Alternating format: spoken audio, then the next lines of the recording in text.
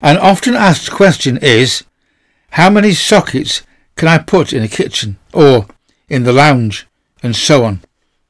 Often it will be the householders that request a certain number of sockets without being aware of some of the constraints around sockets. So, in this video from Learn Electrics, we'll take a simple look at some factors that might affect your decision on socket numbers. There is no reasonable upper limit on the number of sockets that may be installed in a room, but there are recommendations on the minimum number for safety and convenience. Things that we should consider are the circuit breaker size and type of circuit, which leads to the floor area being served and to the total length of the circuit. That then affects the voltage drop, and we need to be aware of the type and size of cable and its installation conditions. Finally, we must consider the size of the room. What is it being used for? How often? By how many persons? And so on. Let's begin with the room sizes as suggested in Table H7 of the On-Site Guide or OSG on page 214. And we are using the Brown 18th edition Amendment 2 On-Site Guide for this video. If you haven't already got this book, then I would recommend you get yourself a copy. It is full of very useful information. The on-site guide specifies three sizes of room. Small rooms up to 12 square metres in area, medium rooms between 12 and 25 square metres, and lastly, large rooms that are greater than 25 square metres in floor area. I've suggested some easy sizes to visualise on the slide, but of course, rooms can be any shape, as we all know. I visualise a bedroom as a reference for size for any room that is having sockets installed. A small double bedroom will be between say 10 and 12 square metres in floor area. So, visualise and ask yourself, will a standard double bed and wardrobe fit in here and not much else? This will be a small room. It doesn't have to be a bedroom, it can be any room. If you want an accurate number, then by all means get out the tape measure but this method works for a quick first impression. Visualizing double beds can be used for any room. Everybody has an idea of the size of a double bed and how many they could easily fit in the room. It works for me. I can visualize how big a double bed is. How many beds and wardrobes could I comfortably fit in this room? Just two? Then it's probably a medium-sized room looking at breaker sizes, circuit types and floor area next. An important rule to follow with any circuit is the relationship between IN and IB. The fuse or breaker size, IN, must be equal to or greater than the design current, IB. This is the expected load. The design current or load, IB, as we said, must not exceed the nominal rating of the fuse or circuit breaker. We say that IN must be equal to or greater than IB. The fuse must always be able to carry the required loads under fault-free conditions. Final circuits are sometimes designated A1, A2 or A3 as shown below. For a designer, it's easier to write A2 than to write out a radial circuit with a 32 amp breaker wired in 4 square millimeter copper conductors. This is table H2.1 on page 210 of the on-site guide and contains some useful information. For an A1 circuit, a ring circuit, as shown in table H2.1, it tells us what type of circuit it is, breaker or fuse size, the cable size, and the maximum floor area that should be served by that circuit. This is the area served by the sockets, not taking into account any route or other rooms that the cable passes through without serving. This is completely different to the circuit length and voltage drop, which is the total length of the cables beginning at the consumer unit and returning to the consumer unit for ring circuits or the furthest point of use for radial circuits. What about voltage drop? It's vitally important that the circuit length and circuit load are not so great that insufficient voltage is present at the points of use that the equipment does not function correctly. A quick reminder, a radial circuit cable leaves the consumer unit and goes out to the various points of use and then stops at the end, at the last socket in this case. A ring circuit cable leaves the consumer unit, visits each of the points of use and the cable then returns to the consumer unit forming a ring of sorts around the premises.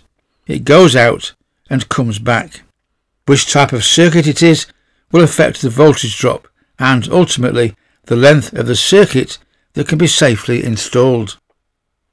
This is the formula for voltage drop in a radial circuit. VD, the actual voltage drop lost in the cables, is equal to the MVAM number from a table for cable sizes, multiplied by the design current and multiplied by the circuit length. This is then divided by 1000 to convert the millivolts into volts. For a ring circuit, it's the same basic formula with one important difference. We divide the answer not by 1000 but by 4 and by 1000 as can be seen here. So why is this? In a ring circuit, current can be shared down each leg. In an evenly loaded socket circuit, half the current can flow down one leg and half down the other. In addition, because the cables return to the consumer unit, then the length is effectively halved. Each leg is only half the total length. And half of a half is a quarter, so the voltage drop will only be a quarter. To calculate this, we divide by 4. Half the current, half the distance, the voltage drop would be reduced by 4. There are recognised limits to voltage drop based on a percentage of the nominal voltage. For lighting circuits, this is 3% of nominal, and for all other circuits, including socket circuits, it is 5%. In a UK domestic scenario, and a nominal voltage of 230 volts, this equates to a maximum voltage drop of 11.5 volts for the socket circuits. But where is this lost voltage? It's lost in the cables going through the walls, under the floorboards, and so on. It is lost energy that we cannot use but must pay for. All it is doing is heating up the cables in the walls. We should calculate the limiting voltage drop for the most onerous acceptable conditions for the load and device, the maximum expected load, installation conditions, etc. If, on the day, the actual installation conditions are not the worst that we calculated, the voltage drop will not be as great as presumed. We may have calculated a 32 amp load when in fact the circuit is only using 20 amps as an example. Within the on-site guide there are a number of tables that show the standard voltage drop for different size conductors. Shown here is table F6 on page 177. We are looking at A1 ring circuits here, so we need data on 2.5 square millimeter copper conductors. Find 2.5 on the left, move across to the right, and we have a number, 18. This tells us that a cable with this size conductor for line and neutral will lose 18 millivolts of voltage for every amp that flows through the cable for every metre length. The row below shows that a 4 square millimetre conductor will lose just 11 millivolts per amp per metre. Thicker copper conductor, less voltage drop. We can make a calculation on a ring circuit and make some assumptions. We are using 2.5 twin and earth with a length of 40 metres. We will calculate for a worst case load of 32 amps, the same as the breaker size. Putting the numbers into the calculator, we have an answer of just 5.76 volts for voltage drop, far below the maximum permitted. This is because we have shared the load around the two legs. Looking at an extreme example, just to make the numbers go wrong, If the length was 90 metres, our calculation shows a voltage drop of 12.96 volts, which is well over the 11.5 volts permitted. What can we do if we really need a 90 metre length? Take a look at table 7.11 in the on-site guide. The highlighted line shows that we can apply an assumed maximum to the circuit, similar to diversity if you like, because not all the sockets will be loaded at the same time all the time. The table tells us to use 26 amps as a maximum load for our voltage drop calculation. Let's plug that into the calculator and see what happens. With a maximum of 26 amps and a 90 metre length, the voltage drop is now 10.53 volts. Move on to an A2 radial circuit now. A 32 amp breaker and 40 metre length. The table on page 210 tells us to use 4 square millimetre conductors and table F6 on page 177 gives us an MVAM number of 11. Putting these into the calculator we have an answer of just over 14 volts, far too high. But, as we said earlier, the answer is based on the most onerous conditions for the cable and the maximum current based on breaker size. It is unlikely, in practice, to see the maximum readings. We can go back to table 7.11 and find 32 amp radial near the bottom, where we are told we can assume a maximum load of 26 amps, not 32 amps. Recalculating for 26 amps, our voltage drop is now 11.44 volts, just under the maximum limit. Perfect. And so to the number of sockets that we should install. Table H7 in the on-site guide recommends a minimum number of double socket outlets for the different domestic locations. How many you install is up to you. It is always said that it is better to have too many sockets than too few. What we want to avoid is the householder trailing extension leads around the room. Things to consider will include how often is the room occupied? Is it a main living area? Is it a cooking area? Will there be TVs and entertainment equipment in the room and where? How many people will occupy the room at the same time? Will the room have office equipment in it, computers, printers, etc.?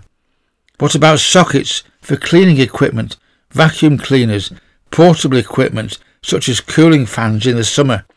Are there special needs that require more sockets? And of course, the list could go on.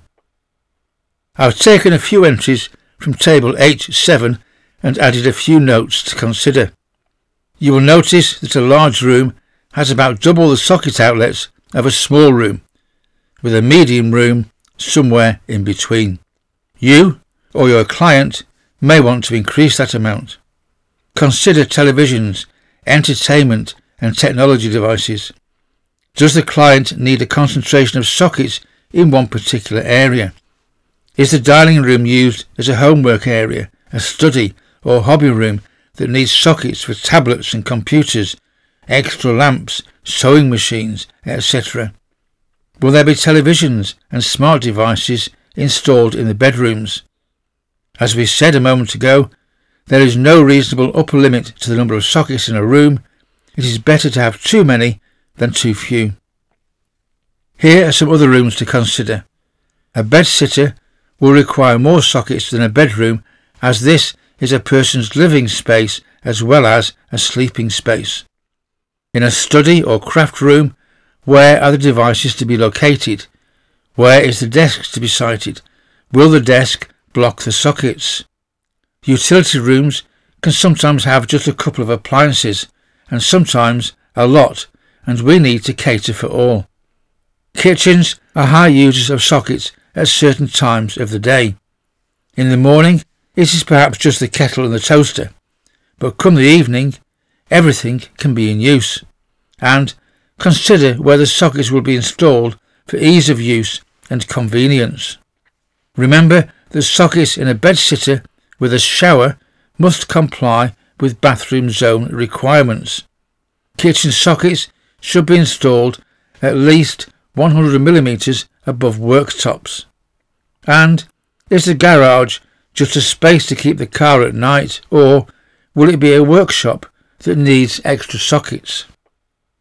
And finally, some clients will ask for socket outlets with built-in integrated USB charging sockets on each socket outlet.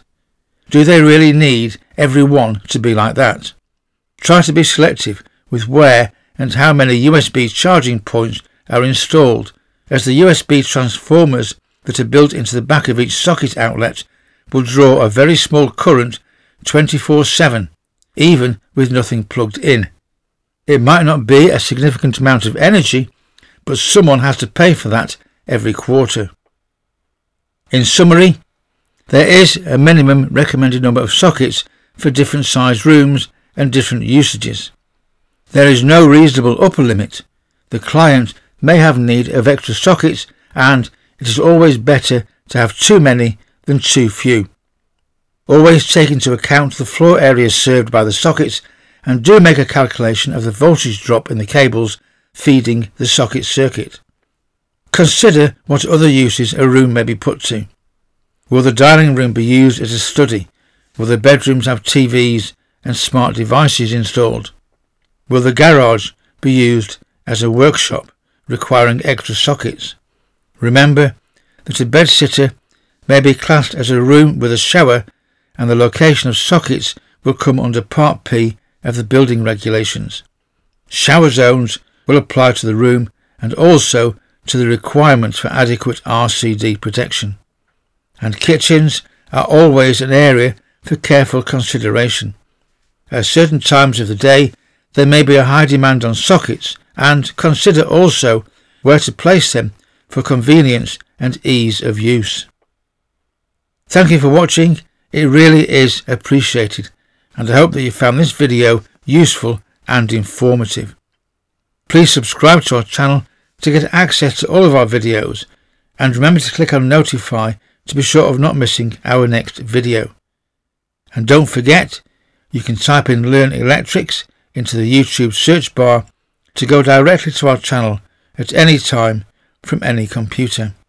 We are always adding new videos to our channel, so don't miss the next one.